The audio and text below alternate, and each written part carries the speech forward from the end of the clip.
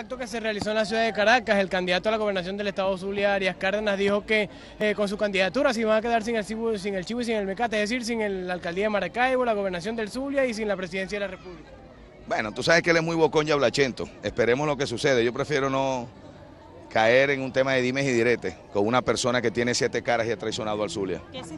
Hemos dado respuesta como siempre lo hemos hecho y respuesta que solicita todo el pueblo de Venezuela porque sencillamente el centralismo sigue siendo anacrónico, pernicioso y atrasado.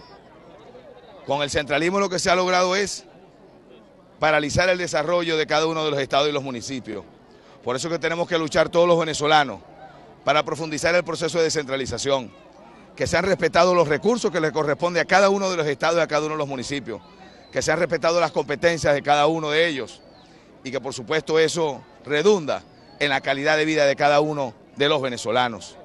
Hoy estamos entregando 23 casas y vamos a anunciar 20 casas más para llegar a 43 casas en este sector Brisa del Lago, un sector popular de la parroquia El Bajo.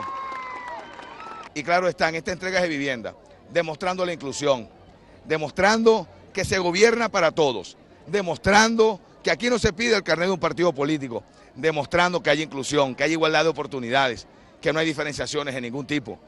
Es esto es lo que pide la gente, es el abrazo, es la felicidad que tiene un pueblo, de un sector que a nadie se le preguntó, mire, usted vota por Pablo Pérez o deja de votar, usted milita en X partido político, usted se viste de un color para recibir un beneficio.